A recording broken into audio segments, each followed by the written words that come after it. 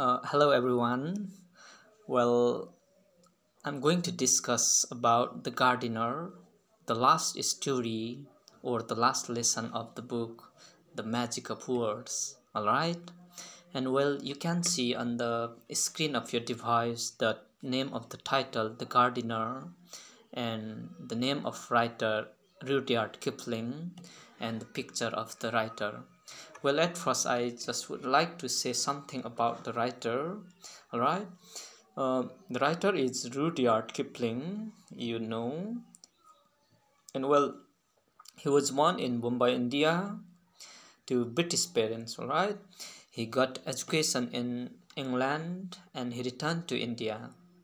And thereafter he started writing short stories. He's a popular uh, story writer and The Gardener is one of his best and most popular stories. Okay, well, uh, now it is time to tell you this story, but to know the story uh, properly, you need to know the characters at first. So, I would like to um, just show the characters you can see on the screen.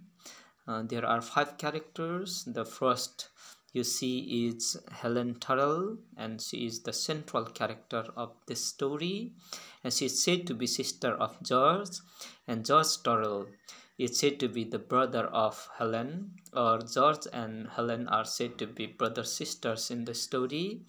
Uh, Michael Turrell is the illegitimate son of Helen and George. Uh, Mrs. Scarsworth is a lady whom Helen meets in a hotel near Symmetry. The gardener uh, is the character uh, who appears at the end of the story only, and uh, he can be uh, Michael's father or maybe incarnation of God, and we shall talk about uh, this after I tell you this story, alright? And here, well, you can see some places on the screen of your device. Well the places which are discussed in the story are on the screen. Hampshire of england.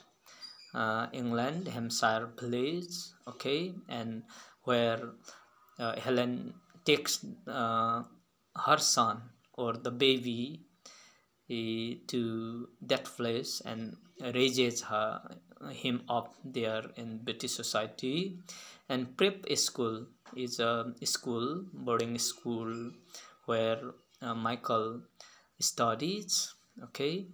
And india bombay is the place where the writer was also born but here in the story the character uh, helen turrell was born in india bombay okay? And south of france marseilles and here Marseilles is the uh, place uh, of southern part of France all right and in this place uh, Helen uh, goes from India uh, to give birth her baby. She gives birth the baby there and she takes the baby to Hampshire and tells the villagers that the baby she has brought uh, with her is uh, her brother's son uh, since her brother was killed uh, uh, by falling of the horse in the military force and his illegitimate wife was not very much responsible so that she has brought that um, baby with her to uh, raise up there right? And Hagengill is uh, said to be a place or imaginary place let's say the third military cemetery uh, located in Belgium all right? Uh, and hotel is uh, the okay scene that we find in the story that's near Hagengill or this military cemetery, there is a hotel where Mrs. Scarsworth and Helen meet each other in the evening and they talk uh, about their purpose of visiting that place, all right okay well now it is time to tell you this story now i would like to tell you the story in short all right uh, well the gardener is mainly the story of helen Turrell. Uh, she is the woman of her british parents. She lived in bombay india. Uh, at that time india was under british colonial rule. Uh, in about the end of 19th century she conceives or she becomes pregnant without getting married all right uh, therefore she travels to the south of france marseilles where she gives birth to a son in secret and takes uh, him to live in england in her society. Uh, uh, thereafter, she baptizes or names uh, him Michael, and in order to maintain her place in British society, Helen invents a story, makes a story.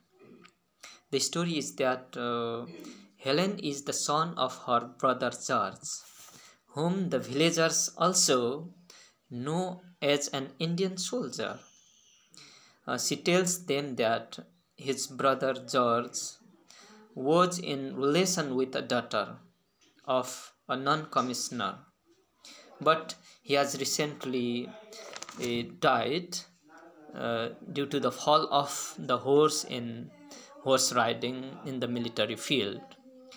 Uh, it is just few days after uh, his illegitimate wife gave birth to the baby all right uh, the baby's mother was not able and responsible or she was not good to bring him up. Therefore she has brought to live with her there. Uh, in this way uh, she makes this story and tells the villagers uh, tries to uh, assure them uh, it as a real story all right uh, the villagers do not take her story in a true one. But they accept because they think it is not bad to take the responsibility to raise a child. Uh, time passes on. Uh, michael grows of um, believing that helen is his aunt uh, not his mother when he is young child, he asks Helen why he cannot call her mommy. And Helen tells him that she is his aunt, but he may call her mommy at bedtime. Uh, Michael becomes pleased uh, with this arrangement, but uh, becomes sad, upset when he finds out that Helen has told her friends about their relation or discussion. He threatens sometimes or tells uh, her sometimes that uh, he will hurt her by dying young in the war. Michael uh, completes his school education and in the time to go to Oxford University to study, he joins the army instead. Uh, he is recruited in the army. Um, it is the time the World War First has broken out. All right. Uh, after one year into the war, Michael is killed by a shell splinter while digging trenches for war. Okay. Uh, Helen is first uh, informed that Michael is missing but she knows that missing means dead. Uh, still, she hopes and thus she inquires to many organizations to find the fact.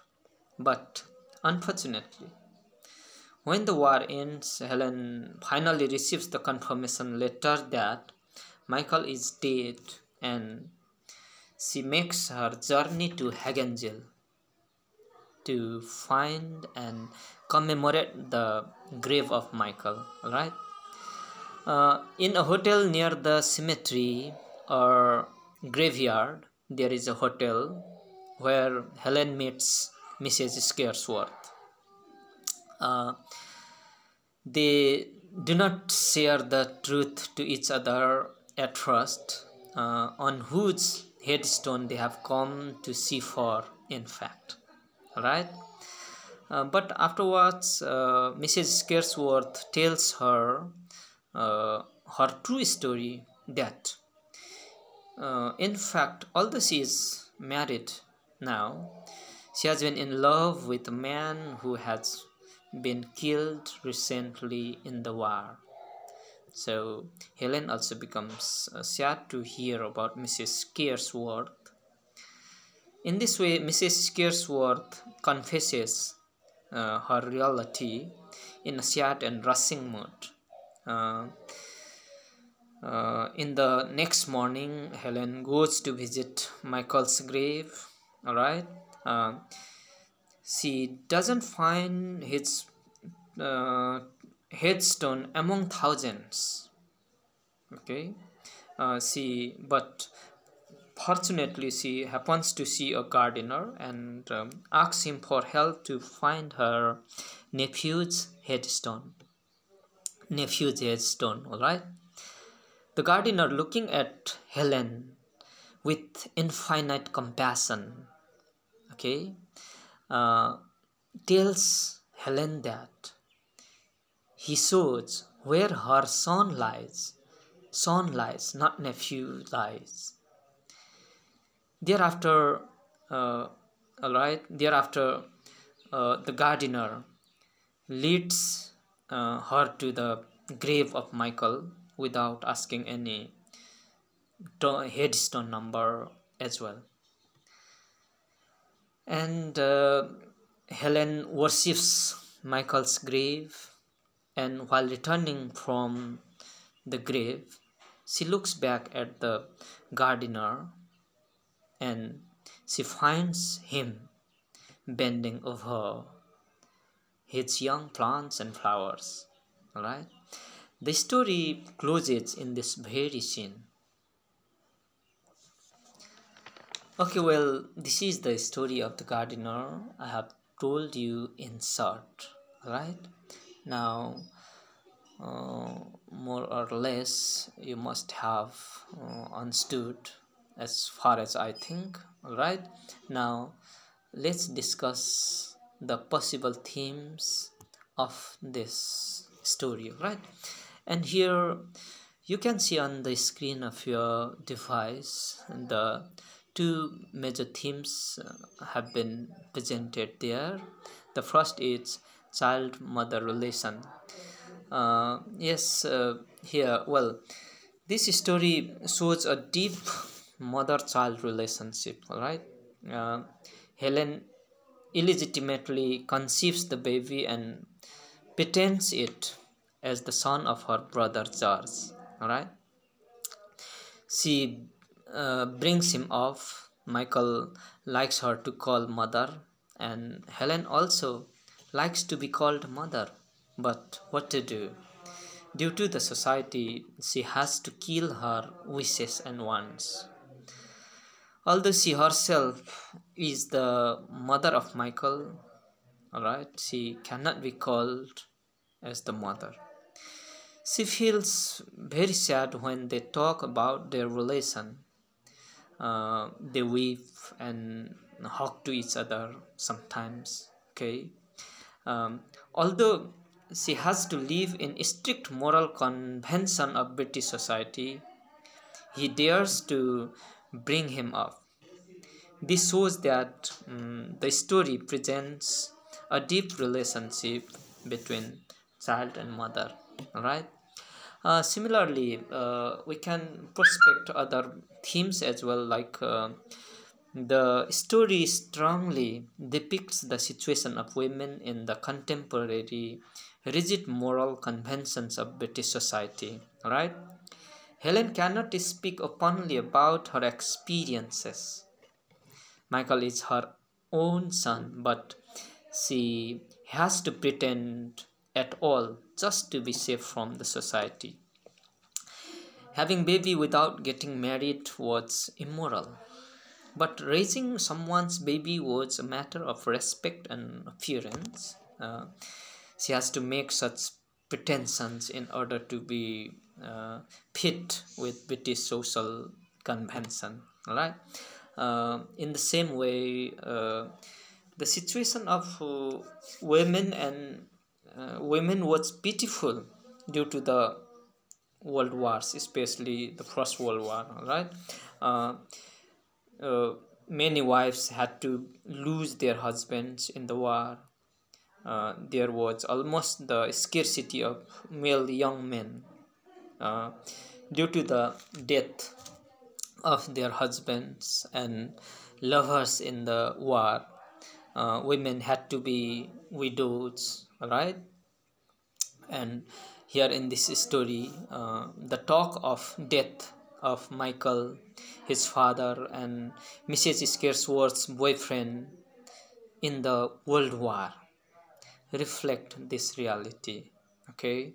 So in this way uh, we can uh, uh, we can find the themes as the uh, okay mother child relationship and the situation of the women in that contemporary society right? And well now uh, we discuss on a question which is frequently asked in examination as well. Now you can see the question on the screen of your device all right and the main uh, key points for answering these questions are well written. Uh, maybe michael's father maybe incarnation of god uh, or spirit ghost of either george or michael. So for this question i would like to uh, tell you my own views all right the um, uh, first is here maybe michael's father okay. It is because uh, we can speculate this uh, the gardener okay uh, in multiple ways. Who is the gardener? We can uh, speculate we can guess in multiple perspectives right? Uh, the one is that the gardener may be the real father of michael himself it is because the writer says that there was uh, compassion, a very lovely look in his eyes at Helen, okay, when he saw her first in the graveyard. Uh, the human being uh, who is in love can feel the value of love and they uh, express through their appearance and expression all right and the gardener mm, also uh, expresses or shows such feeling of love with her there. And we can uh, guess like this because uh, uh the gardener uh, the gardener is in fact George uh, here. The gardener is in fact the okay father of Michael or the illegitimate husband of um, Helen, we can say, and he, he might be there in he was there in India before, but in search of job and so on, he went to uh, that part, uh, that country, and uh, while searching job, he got the job of a gardener. All right, uh, and when Michael had died, uh, this gardener came to know the name of Michael's mother, right? Michael's mother. Uh, and Michael's mother uh, he heard as Helen Turrell.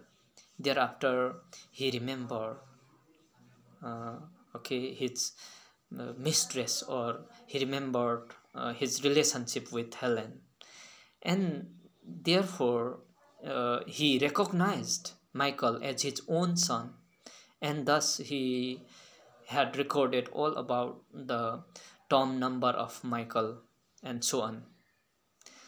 Uh, and so that he directly could show the headstone of Michael to Helen as well. And he looked at her with compassion uh, we can say so in this way uh, uh, here gardener can be the real father of Michael.